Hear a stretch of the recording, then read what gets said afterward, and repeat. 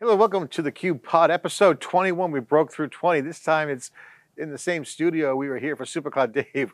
We're rocking and rolling here uh, in the Palo Alto studio for the Cube Pod, episode 21. What a week. We had SuperCloud 3 event here, stage performance live. Uh, great event. I mean, the CEO list is the who's who in the industry, validating SuperCloud, a hella busy news week. Meta news with Llama 2 and Microsoft deal, and now with Amazon Web Services. Microsoft launched a $30 a month service for 365 Copilot to add to Microsoft 365, which is their, their cloud-based everything now from Microsoft. Broadcom gets the nod that the UK hurdle looks like it will be cleared on their VMware acquisition, which we believe means that they're going to go immediately into buying and taking over VMware in the US, maybe even before VMware Explore and just say, hey, US, we'll pay the fines or whatever. We'll see you around the corner.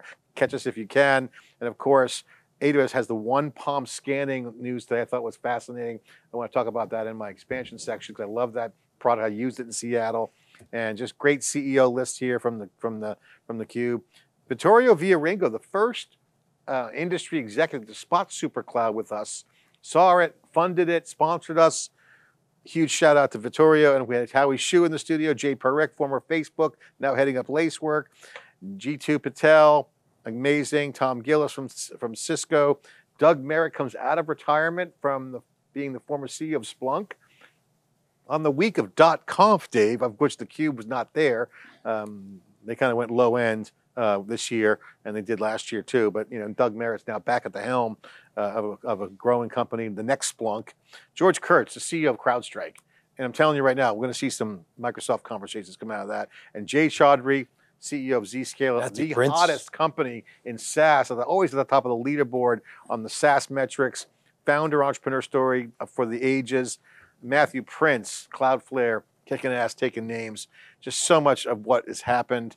And there's so much other news too, Dave. It's like the AI John side. Rose. John Apple's Rose getting into the chat GPT. Apple getting into the chat GPT game with mm-hmm. Apple GPT, uh, an AI framework. We expected Apple to get back in that game. And then they're in it. Cloud continues. The cloud wars are at a complete wind change. Microsoft putting on a clinic uh, over AWS, in my opinion, on the optics. Amazon continuing to be the best cloud, in my opinion. Microsoft's catching up, but I'm telling you right now, Microsoft putting on a, a marketing it's, a marketing clinic. I feel like it's Microsoft's AI world, and we just live in it. I mean, it's like unbelievable. It's a Sinatra of AI. They're making moves, uh, but you know, uh, never count out AWS. Those no, guys. I mean it's so early, but but John, that move that they made with the thirty dollars per user per month for Copilot on 365 I mean, it's genius. It just, yeah. I mean, you do the math. There's like 400 million Office 365 customers, commercial customers, users, you know, seats. And so that's, and now I know that initially the Copilot's geared toward, you know, 365, not just Office 365. But the TAM is like 140 billion dollars. Microsoft added 100 billion dollars in market cap based on that announcement. Yeah, it's just right? a smart move. And it's like way, way more expensive than the street thought it was going to be. Like anywhere, like like on average, I think. I'm telling you right $50. now, we, we, we kind of scratch the surface on our super cloud conversation, but you, you're hitting on something that is where it's right in the middle of the room right now, the elephant in the room.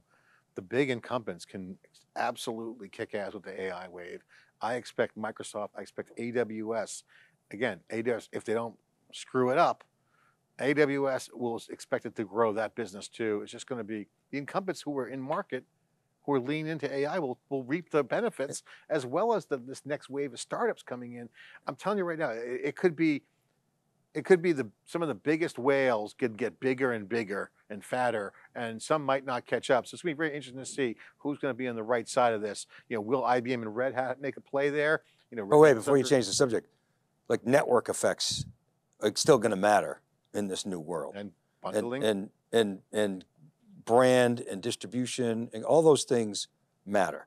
So you think about Apple, the iPhone's really not growing, but they're kicking ass because they have this huge install base that eh, with zero cost, they can just deliver new services that suckers like us will pay for all day long, and it's pure profit. Yeah. Now Microsoft's doing the same thing with with Copilot and AI, it's just, I mean, it's massive, these companies. So that's why I think the incumbents are going to do really, really well unless they just F it up. Yeah, I totally agree. I think the network effect can be huge, but the economics favor those incumbents who are in the game and investing and leaning into the flywheel for the network effect. And again, the example of Microsoft with adding 30 bucks sounds small, but in the scheme it's of huge. things, it's huge at the same time. Um, um, yeah. Some other news, uh, there's a passing of the famed hacker, uh, Kevin uh, Mitnick died. He's battling cancer, 59 years old, young.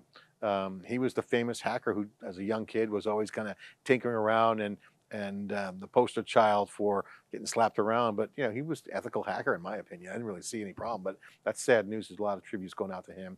Uh, other stuff you're going to appreciate this. Gartner put out numbers on the IaaS infrastructure as a service. Worldwide cloud spending, Dave, toppled 100 billion for the first time in 2022. Hold on, that's a legit headline. They put this out like 2022 this week. It's July of 2023. I, I mean, I, first of all, uh, you could debate the number. Well, they're doing a great job calling balls and strikes on the industry, aren't they, Dave? hey, whoa, what, what, happened a year and a half ago? I mean, it's like who won the World Series last ago. year? I, I, don't understand why it took so long. I mean, first of all, I think the number is actually larger than that. Uh, if you're going to include IaaS, I think it's probably closer to 150 billion. Uh, but I, I, understand Microsoft. It's just, it's just stupid. questions about that it's number. Stupid that they're reporting. That's like us talking about who won the World Series last year. All right. I mean, it's so dumb. Well, the funny thing is, I might have said this to you. When I was at IDC in the early days, Gartner was kicking our ass. So Gartner came in, and it was like two headlights coming at us. We had this user business, and it was just not comparable to what Gartner had. They had Wall Street guys. They got guys from IBM back in the day where the big was a big company, and they were just kicking the crap out of us, right? But there was other company called DataQuest. You may might remember them. Course, yeah. They owned Silicon Valley, but they would do just this. I, and so uh, I'll make you laugh with my punchline.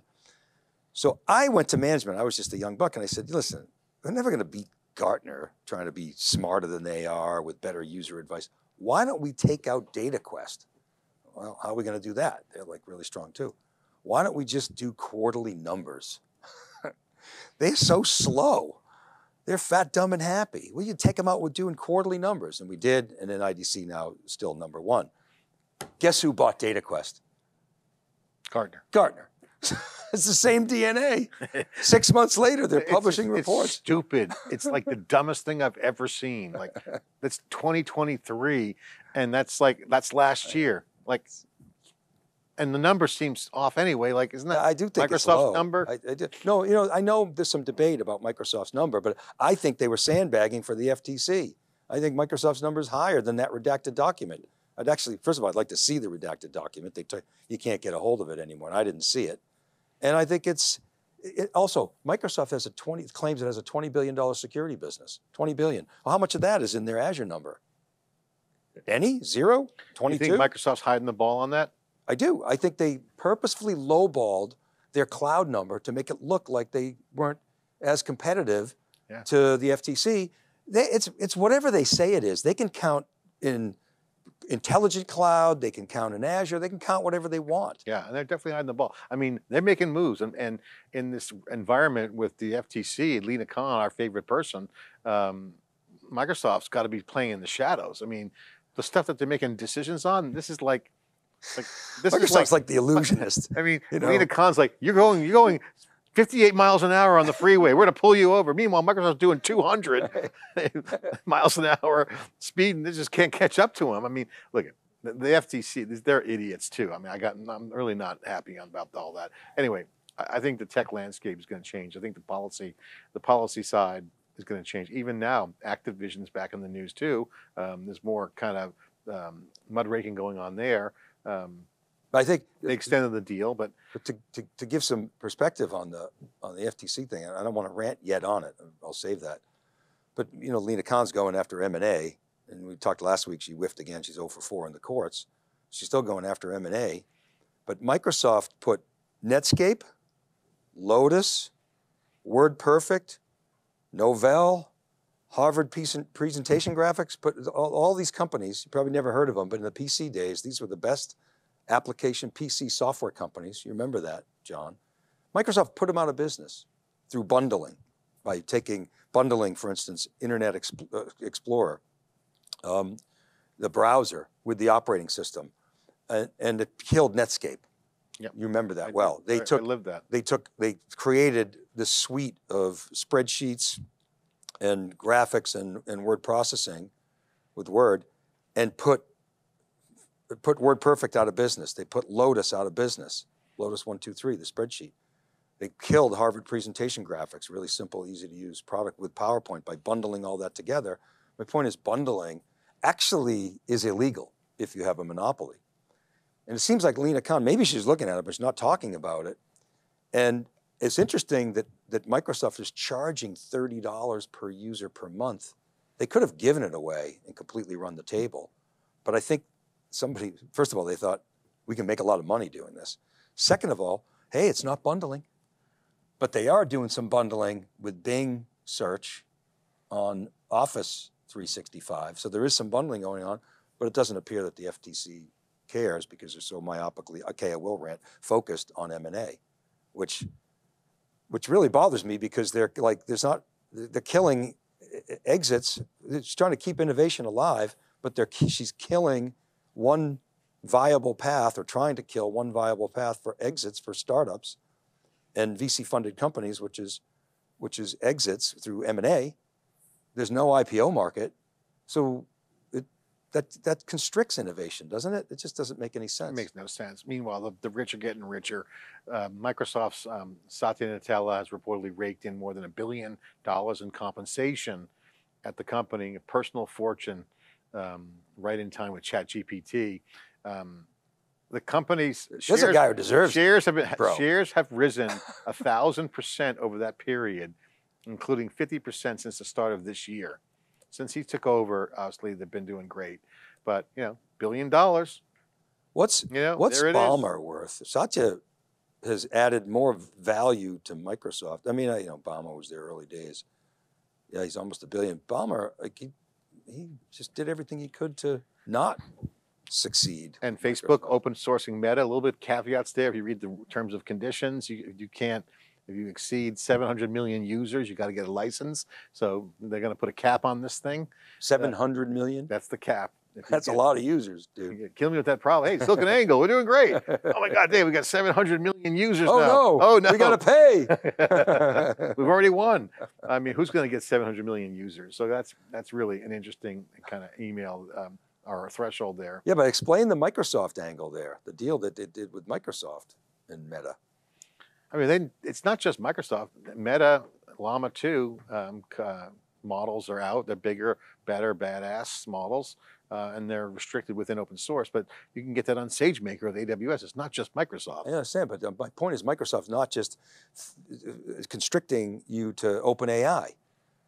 They're saying, come on in. And that's what the cloud does. Yeah, I mean, It's optionality. I, I asked Matt Garman directly. He said I would want OpenAI to run on on AWS. He wants all models to run on the cloud. He said we're, we're we'd welcome OpenAI in open arms. No that's problem. how AWS wins. AWS will sell Redshift or it'll sell Snowflake. It gets paid no matter what. Yeah. When the bloom is off the AI rose, we're going to really tell which cloud did their work. So you have two cultures. Microsoft's the big, you know, scripted culture.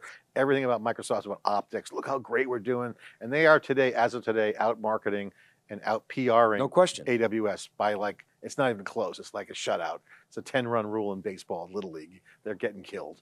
10 run rule. Game's over. Game game one of the doubleheader. Amazon's good at the long game, so what what you're seeing is two cultures, right? AWS is a culture of building.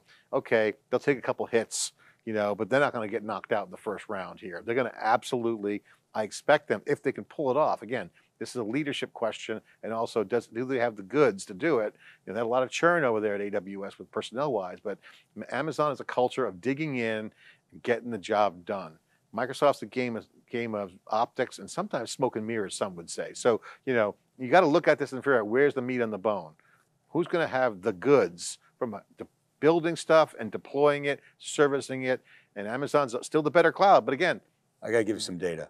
This could be the year that Amazon gets toppled down by You know, I love the Microsoft data. if this continues. I got to give some data. Go ahead, go. October 2022. This is ETR's random survey. Okay, I mean it's of you know they got like 5,000 IT decision makers, and they go and ask them, who are you using for AI? And are you spending more or less?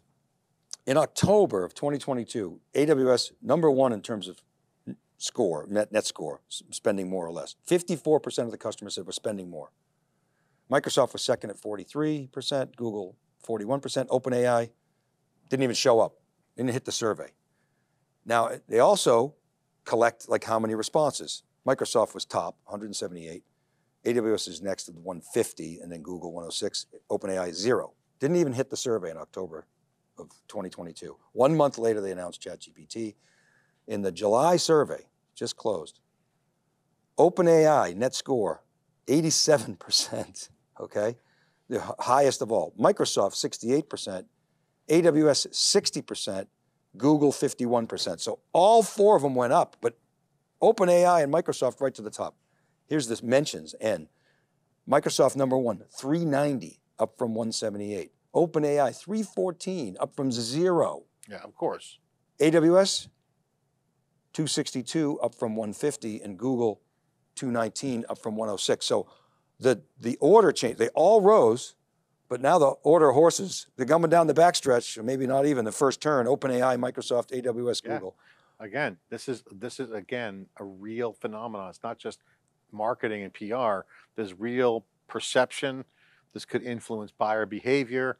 Um, this could in, in, in, in, infect the developer community in terms of who's a leader. Uh, like fashion, you don't. If I'm Amazon, if I'm Andy Jassy, I'm saying to myself, I have to get involved because like this is the point where if this takes hold like fashion does, you could be swept away by that sentiment. And that could be bad for business. And now, you know, for the first time I'm hearing people saying, yeah, I'm spinning up some Azure service, get some of that AI. You never would have heard that a year and a half ago. Look at how Amazon had such a dominance in cloud. Look Okay. at how the industry is responding though. Google puts out the code red, does all the BARD announcements, has a couple stumbles. Amazon announces Bedrock and all that other stuff. Just look at all the shows we've been to. Dell announces Project Helix with NVIDIA. HPE announces its supercomputer cloud with Gen AI inside of GreenLake. Snowflake does a, containerizes NVIDIA's entire stack. Databricks goes out and buys Open OpenML. Right? Every show we go to, it's like, shit, we got to have our story here. The Cube AI, we have our own. Well, the Cube AI, well, of Yeah. course, everybody. If you're not doing AI, you're going to be toast. AI or die, right? AI or die. Jerry Chen. I mean, I, I mean, I, it's look, it, it, this is like the web. We debated this on the Cube many times ago. Like the when the web came out, you had to have a website. If you were a modern company, you had to have a website. Yeah, but it was easy to have a website. We had Dave Butler build our website. We did. right? No offense to Dave Butler, but you know, he's not a coder, but he built our website. The HTML. Like, back then, you had to code your own HTML. Yeah, that's what he did. He kind of pointed him and he pulled out the documentation. It was IT centric We should have website. them build some apps, low code, no code, you know, coming in around the corner. But but but I mean, AI, you have to have AI, and I think people don't. It's interesting because AI is so grounded in data. Uh, we've had this debate. Remember the first Hadoop world? Data is the new oil. You know, industrial refineries are coming. Yeah, Um, Tim O'Reilly, those are the models, you know. And, Abhi uh, Mehta, Abhi Mehta. Abhishek Mehta. I haven't had him on in a while. Yeah, and, and so he's got an opinion. interesting to see stuff. how people deal with their data now that data now is the new IP. What people do with it. It's gonna be very interesting to see. I'm curious what, what the data is, what the data says. What do you see for data? The, the data says that AI is taking spending priorities away from other areas. Okay, so AI, when after the tech bubble and the Fed started raising interest rates, the trajectory of AI just kept going down. It was quite high during the, the pandemic, but it kept going down, down, down, down, down. And then, as I just said, after ChatGPT, it started going up, up, up, up, up. And it's definitely impacting other sectors. Even cyber, cloud is you know, being optimized. Uh, RPA is, has come down a little bit, even though it, it's, it's now ticking up again. Automation's doing a little better. But it, it, it came down. I think AI is stealing not only mind share, but also wallet share and resources away from these other projects. People are delaying some of their other IT projects, focusing resources on AI. That's what the data says. And uh, as the cloud players look at that, like, do you see cloud spend increasing? We know we talked about repatriation and right sizing, cost optimization is a big, FinOps is a big topic right now. Um, is that affecting the market? My read on the data says that you're going to see solid cloud numbers. It's not going to rocket back up, but I think this optimization trend and the deceleration that we saw is going to moderate and, and maybe even turn positive. I think repatriation, I think Charles Fitzy, his, his blog on this was beautiful. The repatriation index reversed a three-year trend, and then he had the smooth as glass lake. Surfs up. I love, he's the best snarky blogger out there on cloud. I, I got to say, but he nailed I it. Do, I do like him, and, and the fact that he was um, uh, such a good adversary for us on the super cloud was great to have him debate that. He still got it wrong. I mean, he still didn't get it. But but, but I will say this. I, I, will say this. There's debate about. I see. I think it's an equilibrium. I think there's way more workloads in the cloud than the narrative suggests. Everybody's saying 90%, 85% of workloads are still on-prem. I don't believe that at all. I think it's 45, 50% are in the cloud. And so, notwithstanding telco, telco is different. And so, I don't think there's as much upside momentum in the traditional IT space as the cloud players would like you to believe. I think there's still plenty of room to grow, but that's going to come from other use cases, well, the, the verticalization, well, the question about edge. If you look at the NVIDIA workloads, they're, they're 99%, all the eggs are in one basket with NVIDIA, but now that you're starting to see like Amazon have um, GPU in the cloud, um, centralized cloud computing for workloads are expensive. As right. a, you know, you've always made a case, we've talked about Bitcoin and I'm, we're all both pro decentralized Bitcoin. Yeah. There's a, our case to be made for decentralized processing. Yeah, there is. So, um, does that favor the cloud guys?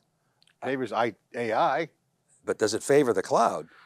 Depends how, how they, they, approach it. How they approach it, right? So, I mean, I think if here we go, um, custom system designs. You know, Outpost might be the, an answer, kind of that direction of having, you know, that kind of thing. Anyway, that's. that's Are you bullish on Outposts? Well, not Outpost the way it was, but I think the idea of them having an edge component is is interesting. I mean, I think this is the edge. I think most of the work is going to be done AI inferencing at the edge. It's going to be done on ARM-based processors. It's going to be Tesla in the car, self-driving vehicles, real-time AI inferencing, low power, low cost, super high performance. That's where I think in aggregate, most of the action is going to be. And a lot of guys are looking at that going, eh, I don't know how to make money at that. Somebody's going to figure it out. Yeah. Just like, ah, PCs, they're toys. You know, uh, uh, mobile, it's really not that big a market. Intel will pass. and then all of a sudden it changes the economics. Boom, overnight. Oops. So big security flaw in Microsoft's authentication software happened. Um, they have a cloud security problem. Um, that right. happened this week. SuperCloud was this week. Wait, wait, that's my other rant. So Microsoft announces all these secure edge products, and and all the cyber stocks get crushed. Zscaler, CrowdStrike, Okta, they all got slammed because Microsoft made a security announcement. I'm like, wait a minute. Microsoft's been competing with CrowdStrike on endpoint and, and Okta in, in identity forever. And those companies do just fine. So Zscaler, that was a buying opportunity in my mind. Well, Palo Alto Network, same they, thing. They tried to not announce it, but it was not, Microsoft didn't announce it. They were called out. They tried to bury the, the story, but it was revealed that a China-based actor managed to steal um, a key that created multi-factor authentication codes and broke into Microsoft 365, belonging to like a ton of organizations, and the government had confirmed that they had um, un undetected access to accounts by several departments, including Commerce and State, for a month. So my point for, is, the Chinese were in for a month. My, my point walking is, around. My point is, Microsoft is going to do great inside of Microsoft, but there's this whole huge other opportunity out there for for companies you know, like these disruptors, like the ones we had on SuperCloud, Cloudflare. Cloudflare got wow. crushed, Zscaler, Palo Alto, and of course they all came back the next day. like roaring back. Z- zero trust token invalidation. They just got killed. I mean, Microsoft security just got called out. That's why the stocks were down. No, the stocks were down because Microsoft made an, a, a, security announcement that was competitive. And then you see shit like this.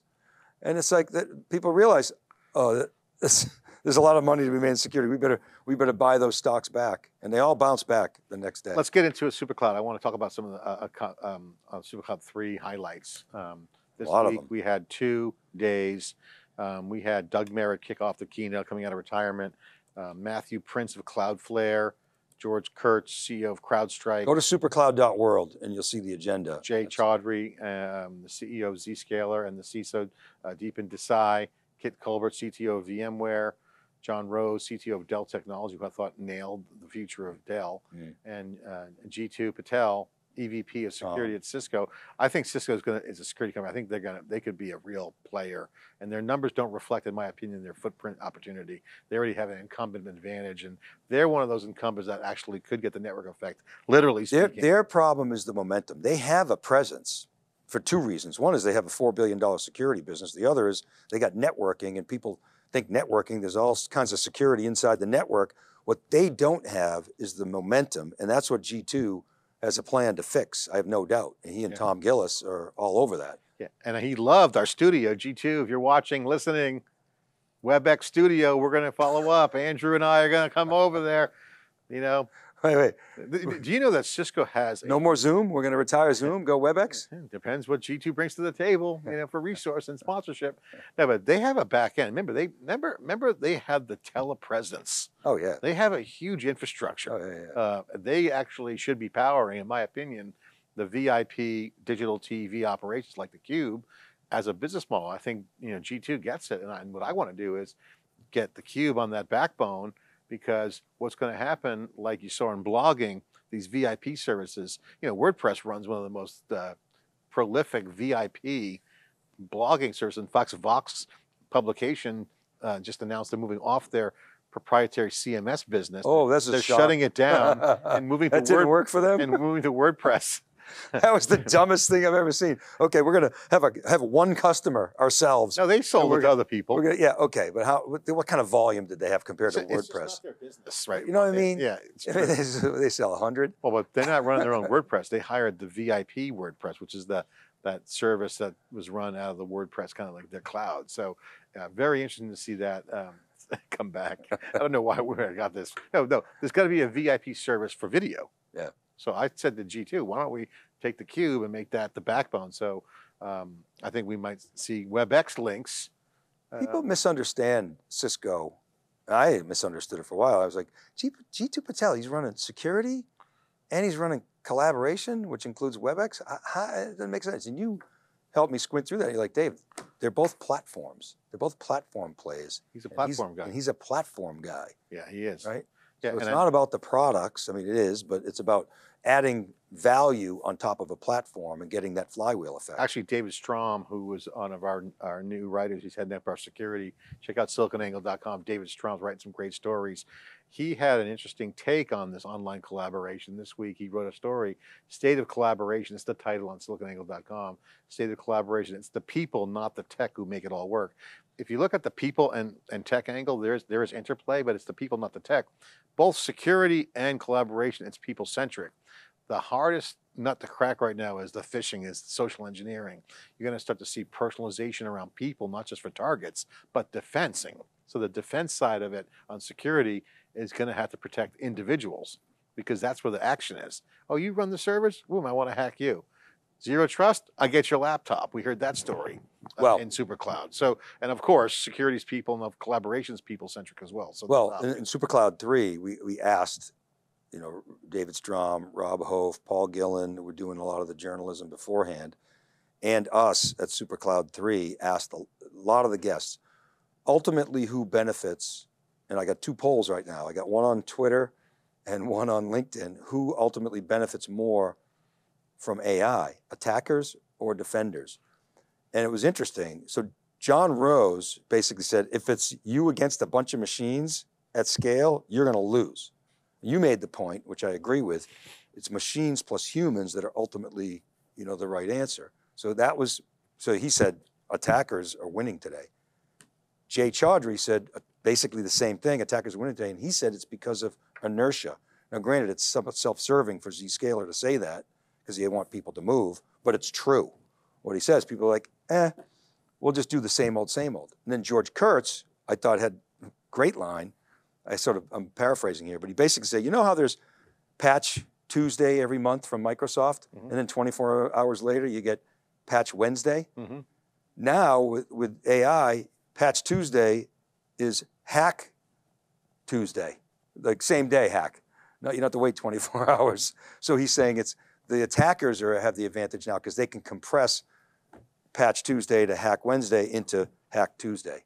Like There's no doubt. time. There's no doubt that the, although the politically correct answer is saying we're all equal playing, field, the attackers have the advantage. There's no doubt. I, think there's no There's doubt. no doubt in my mind. but it's interesting the the- the- survey that well, I got because going. people want to believe that they have a chance, and the fact of the matter is, I, I, based upon everyone we talk to and my squinting through the tea leaves on this one, no doubt attackers have the advantage. We're playing defense, and that's the game we're playing, and there's no offense at all. But this is interesting. Yeah, I got awesome. I got over 100 votes right now, and it's basically it, most I say it's it's weighted toward equally both, and then attackers over defenders mm, three to two to one, three to one. So it ends up most people think equally to both. I don't know. I tend to agree with you. I think attackers are going to have the advantage. I think they always have the I- I advantage think that- because it- they only have to win once, right? Well, I think, I mean, one of the things that's going to come up is more complexity. We always said that the one thing about the cloud is you can create all kinds of barbed wire, if you will, create some complexity around the hackers. And and I think the game is going to come down to it's like football. It's like you play against Tom Brady, you got to score 40 points to be competitive. like, okay, remember when he was Yeah, when it's heyday, that was the argument. it's true. not going to win on defense. He's going to score a lot. So you better score a lot. Yeah, right. They would won. They won all those games. Yeah, you can't, you can't be beaten with field goals. Yeah, You got to. exactly. And so, like, I think now it's the defense is just got to they got to hold the line and go blow to blow and try to hold the keep the score down. It's the Um, best they can and I, do. and I think that's the best they can do now until the game gets changed. Okay, and I think the game needs to change until until that does. Um, that's the state of where it's at, and I don't see any change. No, there's no AI short term pop here's my in take. favor of the defense. Here's my take on. It. I agree. Here's and here's why. First of all, you got cross cloud complexity. That's what SuperCloud is, you know, set out to solve. But this it's early days, so you got all this cross cloud complexity. You have chaos in terms of security, the number of security players out there. You have tons of AI washing, which is confuses customers, and then you have large language models and generative AI, which is, as Jeff Jonas points out, it's generative. Means it's going to give you a different answer every time. And you have the diversity of LLMs that you can choose from, and the open source community, which has responded with all kinds of vector databases and graph databases and other open source options and all these LLMs and and the, the the complexity of the ecosystem has just increased by an order of magnitude or two orders of magnitude. And that's chaos. And chaos is cash for criminals. Chaos equals cash, a post you wrote years ago. But remember, Andy Grove's favorite favorite line: "Let chaos reign, reign in the chaos." So And that's you what's know, happening. I, I think you, Yeah. that's happening now, and I think what's interesting is is that you got digital transformation. Just think about this for a second, Dave. We've been talking about digital transformation for the past decade. In the past, say five years, it's been bus- business transformation. Yeah, yeah, rah, rah, rah. You combine the fact that we just came out of a pandemic, hybrid work is happening. People are now just getting back in the office, and then boom, huge recession, and then all of a sudden, out of nowhere, pops the AI wave. Okay, which creates a tailwind for some, but not for most. So most of the market's got a headwind.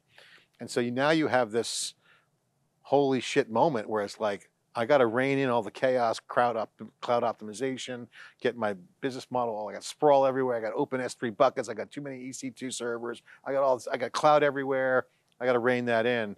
And then you got the AI thing happening, which is then feeding open source and the cost there. Got GPUs and all that stuff goes with it. The psychology of the enterprise IT department I mean, this is a step function of IQ needed to execute.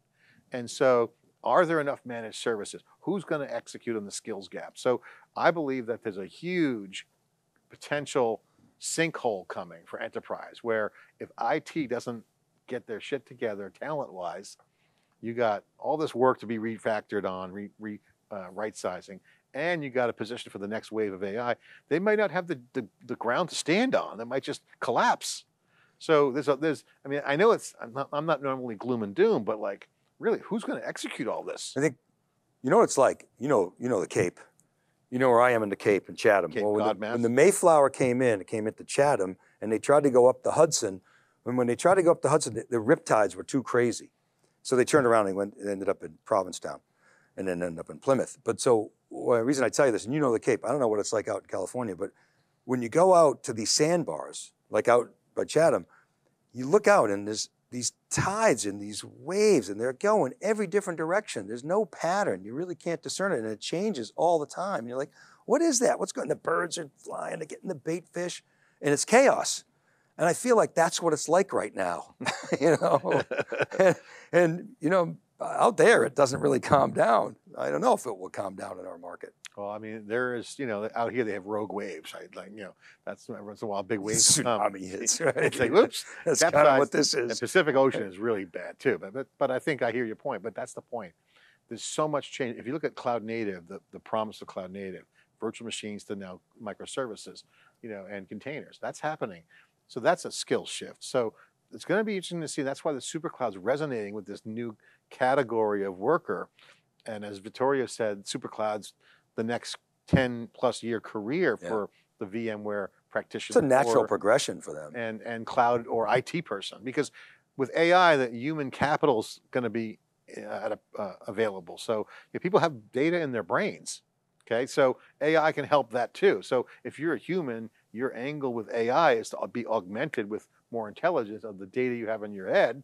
That's uh, intellectually scaling with other data. So you know, I just think that IT is going to be a completely different animal in the next five years. I think we're going to see a complete changeover of what used to be IT uh, into now. You're already seeing it with security teams, with with shift left, seeing the open source with the AI Llama 2. I mean, it's like throwing red meat into a into a cage of hungry animals. Like like AI is just open source. It's just it's revitalized. It's a Cambrian explosion of of action, and new apps are going to come. It's just it's so obvious to me that the dynamic of open source, cloud next gen, and this changing landscape of the operations is a perfect storm.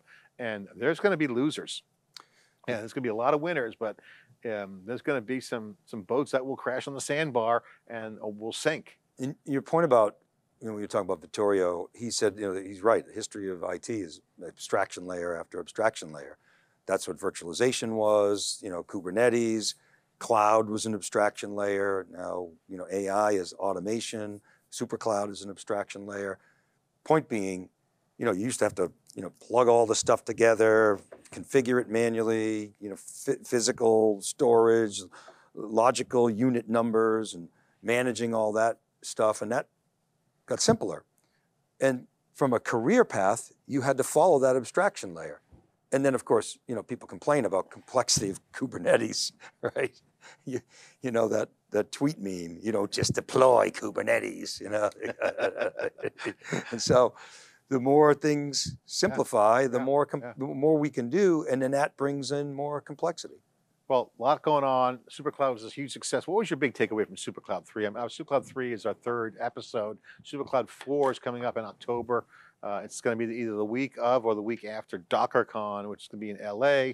Um, Cube SuperCloud 1 was great. SuperCloud 2 was great. On 3. We had massive momentum. I mean, just the execs, the list goes on and on. Two days, uh, great founders. Uh, Merritt Baer is now at Lacework. She gave a keynote. She was in the office of the CISO. Big news there. She left AWS. She's now at Lacework. We had Lacework's uh, CEO, Jay Parikh. We had a, a Bitpole from Ro- Rubrik. Um, David Flynn got a new startup. He just Fusion.io disrupted Flash industry. Okay, and now you're going to see uh, the NAS market potentially get disrupted by David Flynn's Hammerspace. Um, and you got CrowdStrike CTO came on. Dude, that guy was awesome. Elia um, Zaitsev was amazing. Okay, he was solid, talking about the culture of security and and just how AI is just going to unleash, and and and that and, and again, my big takeaway was is that I was a little bit naive on the security market in one area, and this is what I learned. Like sports, the pro game in security is a speed game that's that's not like college ball. So you know, in sports, they say, "Oh yeah, you know, you were starring, you star in high school, varsity star in college, D1," and then they say when you go to the pro game, it's a whole nother. Everyone's just bigger and faster, right? Well, that's security. You can't just walk in and fake it till you make it in security. The game right now is a game of the defense defense is on under siege by the attackers, okay, and the technology is changing and the game is fast and it, you could be a pretender instantly washed out of that business. So, you know, that skills gap is not so much do you know the tech, it's can you keep up with the pace of play? Dave? Yeah, I mean, this is a whole nother level of things. And then the other thing, so at SuperCloud 3, we also had a, we had a number of CISOs on and, and chief security officers. Mignona Cote from NetApp, we had Jaya Baloo from Rapid7, we had Alvina Antar, who's the CISO, maybe she's CSO at Okta.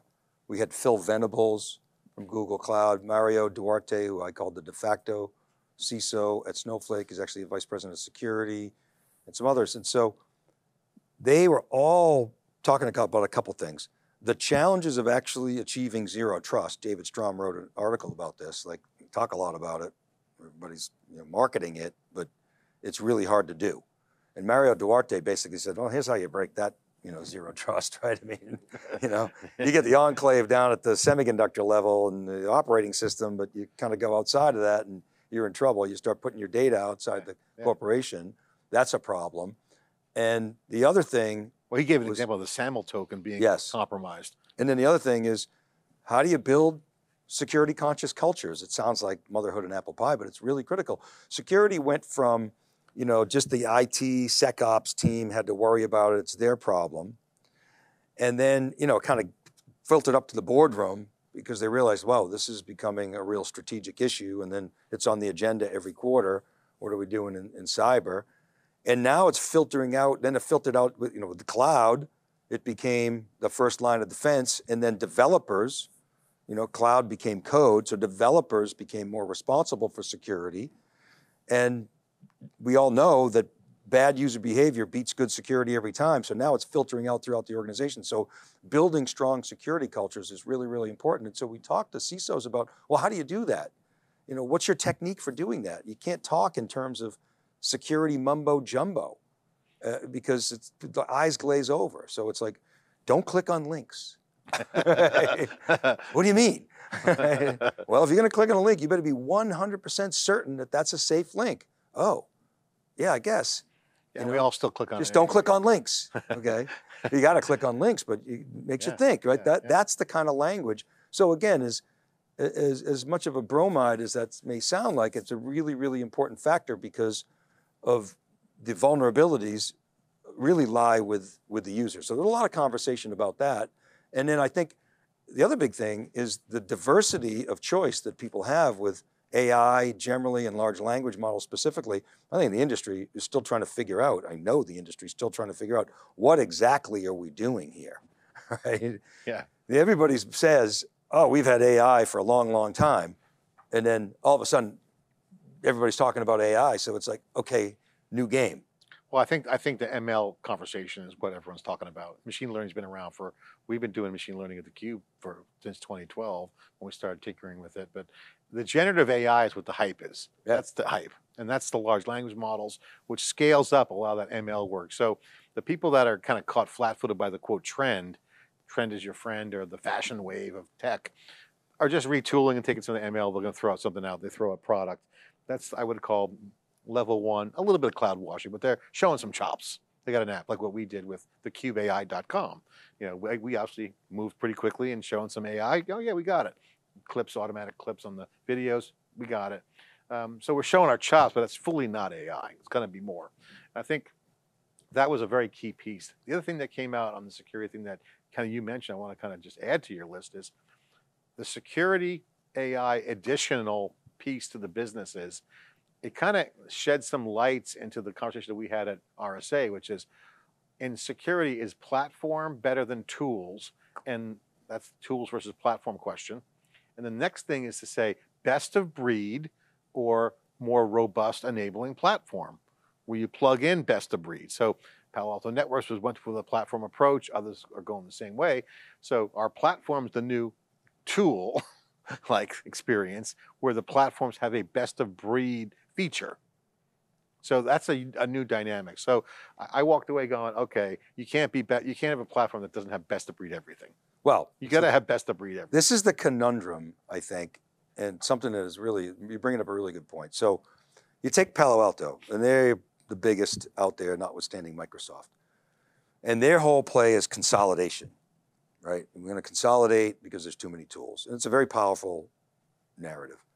Then you got Jay Chaudhry, who was here yesterday or Tuesday, and he was saying, you got to be best of breed. So can you be best of breed and have a vast portfolio? Now, Zeus Kerravala would say, someone like Palo Alto doesn't have to be. Jay Chaudhry would say, oh yeah, you do. And I asked Jay Chaudhry, are you saying that the consolidation play narrative is not a, a correct one? He said, no, no, I'm not saying that. He's saying within large pockets of opportunity, the consolidation makes sense. But we Zscaler, cloud security, we're not, and we're gonna, network. in network, we're gonna, right, you're going after Palo Alto firewalls, but we're gonna partner with Okta for identity because they're really, they're best of breed at identity, right? CrowdStrike at endpoint. So he's basically saying that there are these large swaths of opportunity that can be consolidated, but you've got to, to your point, you've got to be best of breed within that large swath.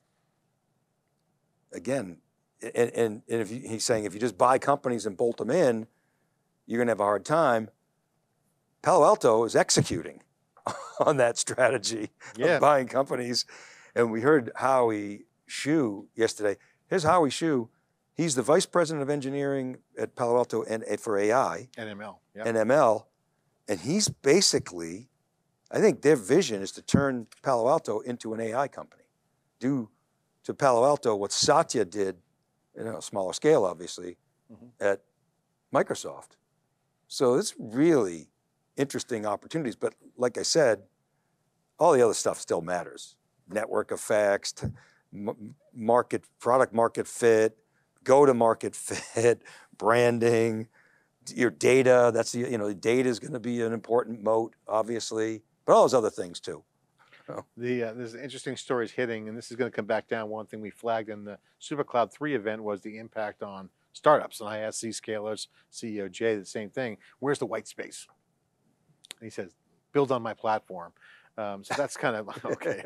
That's not white space. That's, that's No, but he's a good pitch called- man. It's called an ecosystem. I'm going to give him props for that. he, he and Jay Shree. We'll have to hit him up for some sponsorship next time. Um, no, he, but he was awesome.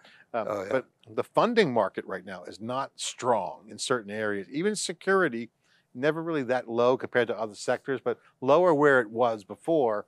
Uh, and now the stories coming out on the web, I'm watching a story go around about um, how VCs um, are not profitable. That, that through that that wave of new VCs is crashing. So you have a lot of LPs who've been spraying cash around, and then um, the quote here is uh, 95% of VCs aren't profitable. Okay, so In what time frame though? the over 12 years, and they have all this kind of the VC kind of language. The point is Really? that that a lot of these VCs, yeah, Really? that's what it's saying, yeah, only five percent return more. The VC return on investment, okay, only five percent return more than three x their capital. That that I well mm, interesting. Well, Okay, ten percent return two to three x, thirty-five percent return one to two x, and fifty percent return less than one x the capital from Wow. limited partners. Okay, fifty percent, well, you know my less than one you know my rap on this. What percent of Series A, B, and C companies fail to return?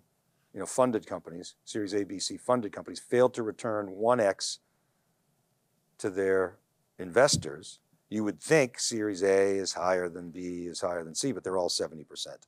70% across the board, Series A, B, and C, failed to return 1x.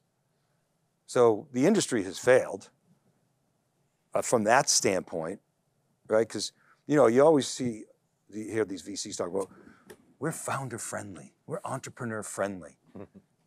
well, if- if if the industry were entrepreneur friendly, seventy percent, you know, wouldn't fail to return one x or more, you know, more than one x to their investors. So, um, and you know, the game, you know, better, much better than I do. It's like spray it and hit a big one, and who Yeah. cares about the ninety percent that I fail? mean, it's 80-20 rule, if not higher. You know, you want you just need one big one. But but know. John, what's what's I mean, if you're an investor, you know, big time investor, what's wrong with that formula? Look, if I mean, it sucks for an entrepreneur. If, if if we were if we were investors over the past 13 years, we would have done well. I mean, we would have had at least two or three I mean, I'm shocked. unicorns um, over a billion dollars. That's like that's that's like we, we saw companies saw Databricks when they were just like three people. Remember that? it's like how would you how How could we not be in that? well, how could you lose money in the stock market between 2010 and and you know 2019? I mean, blind a blind squirrel will find the Right. nut in that market. I mean, come on. Um, so again, but but the impact is much more about the collateral damage of you know how they say it's Silicon Valley. You know, the failures is all is becomes fertilizer for the next wave, right? So so the next crop, It's a wonderful rationalization. your manure of the next crop. Great idea. Let's Yeah. innovate on that. yeah. I mean, I mean, I still love the social cam app that the one of the Justin Kan and this guy made, Tom Siebel made um, the from the Justin TV guys. I use it all the time. You know, uh, it was too early. It was a great app. Um, that wasn't Justin Kan. It was uh, Seibel, um, the other founder of Justin TV. He ran Y Combinator for a while. It was it was the best video sharing We app started- ever I've ever used. We I- started on I, love that app. I, right? You should bring The social, Cube started on social cam. Should have been back. I Right? used it so much. The Cube started on Justin TV. Right. started on Justin TV and Twitch. Now love, Twitch, lo- love yeah. those guys. It's awesome. And then you know, I follow Emmett Shear. He's on Twitter. Great entrepreneur. He just stepped down from Twitch. Kevin Lin. He's been gone for a while, and they all moved on. You know, and what a great success story. Um, and they're now the senior guys in the industry. We're like the old poobahs, like get off my lawn. That's the way I feel like on Threads these days. You know. Still going on threads? I've been out not as much. First week I was on it all the time, and I just lost interest. Um, you know, there was some fun, fun snark on there, and there was some clever threads, um, but just I just lost the engagement for some reason. Uh, I just wasn't seeing anything good, and I, I like reposting on threads because there was some good stuff on there, but haven't been a big user. Um, and, and that's that's kind of my rant is that you know I've always said Threads is like a nightclub. It's like hot until it's like then it winds down. Everyone's been there and they saw it. Okay, we saw it. Move on. You know, just another Twitter. Um, Yeah, with the less user features. experience isn't blowing me away. Love the UI. I thought they did an exceptional job of the onboarding. Um, the team did an exceptional job on the UI. Um, it's just it's Twitter. Twitter's more flow on my side. I got more flow. Um, I am getting more rebound followers from my old days, from like 15 years ago when we were in the Web 2.0. A lot of a lot of folks are on Threads that were kind of got fatigued from Twitter. So I saw a bunch of old colleagues and friends on Threads. It was awesome. Hey, good to catch up. Um, Human Radford was on there. Um, he's an early social guy. A um, bunch of old folks on there from from the podcasting movement. It was awesome, fun to see. Yeah, but all good. Yeah, I mean, I go on, I come in and, in and out, lurk a little bit. I see a ton of Chris Selland on Threads. He's, And I reconnected with him on Threads. I, Never was- saw him on Twitter. Not that he wasn't on there. I just didn't see him because there's so much noise, right? I think it was became a much more intimate graph.